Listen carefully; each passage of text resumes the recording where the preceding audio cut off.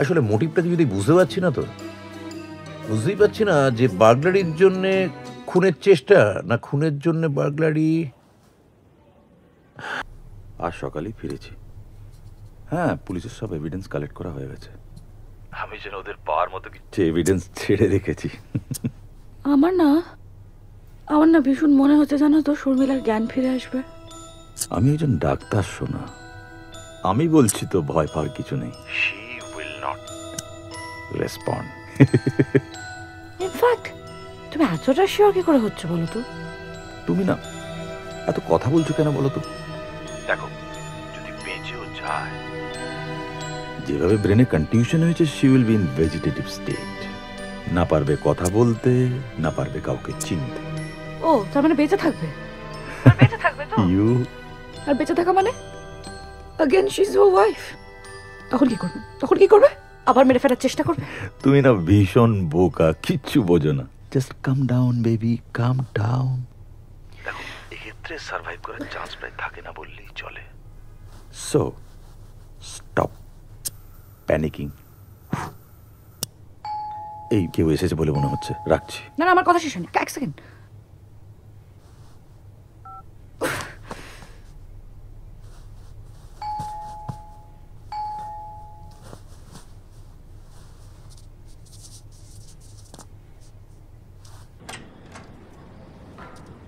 ও আপনি?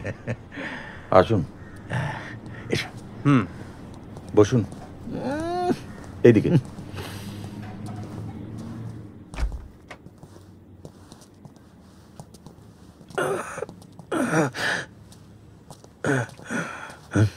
বলুন।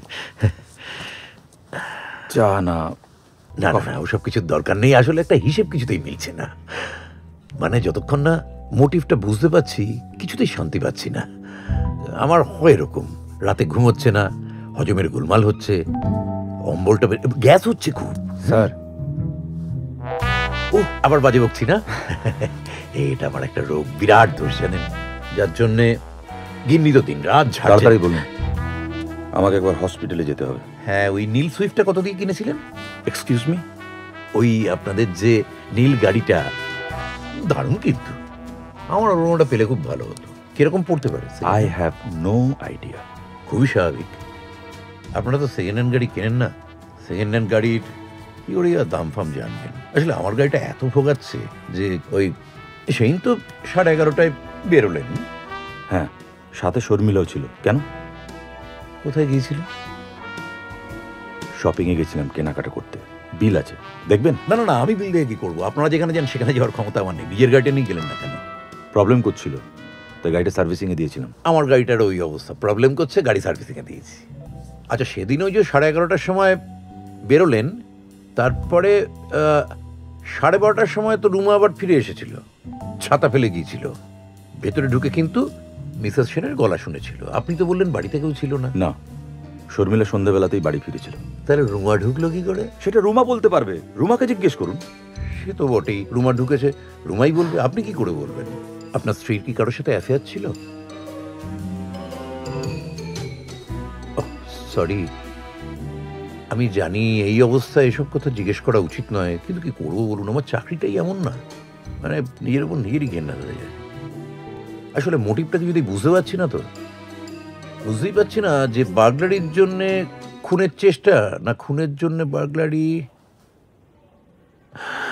এই বার্গলারির কথা মনে পড়ল, আমাকে একবার একটা চোর। চুরির একটা অসাধারণ কায়দা শিখিয়েছিল বুঝলেন সে তো চোর নয় সায়েন্টিস্ট চোরের আইনস্টাইনও বলতে পারেন। ইন্সপেক্টর কুন্ডু আপনি অযথা আমার সময় নষ্ট করছেন। ওকে আমাকে এখন হসপিটালে যেতে হবে। I'm sorry I'm sorry I'm sorry ঠিক আছে। আপনি ব্যস্ত মানুষ তারপরে এই সাত সকালে দুজন পুলিশ বাড়িতে এলে আর গাড়ি বা ভালো লাগে? কার মাথা ঠিক থাকে? আচ্ছা এই সেমিনারের কথায় মনে পড়ল আপনার সেমিনারটা কোথায় ছিল ডাক্তারবাবু? গ্রিনউডস। সেদিনকে সেমিনারে এমন কিছু হয়েছিল যাতে শর্মিলা দেবী ফিরে আসতে চেয়েছিলেন? হ্যাঁ শর্মিলার একটা প্রবলেম হচ্ছিল আমার সেমিনার অ্যাটেন্ড করা নিয়ে কি প্রবলেম হয়েছিল ডাক্তারবাবু?